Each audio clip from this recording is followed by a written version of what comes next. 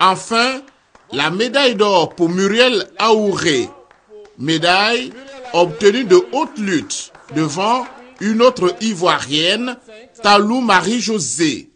Sur ces 200 mètres, Claude Muriel Aouré a montré de belles qualités.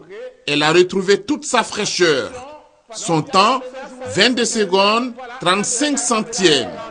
Talou, 22 secondes, 81 centièmes.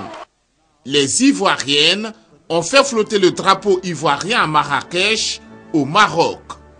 On reste avec les 200 mètres, mais cette fois en homme. Après son succès aux 100 mètres, Kofi Wia Wilfried a démontré qu'il fait partie des grands du sprint africain. Il s'impose aux 200 mètres en 20 secondes 25 centièmes. Un véritable exploit pour cet athlète qui remporte la médaille d'or aux 100 mètres et 200 mètres.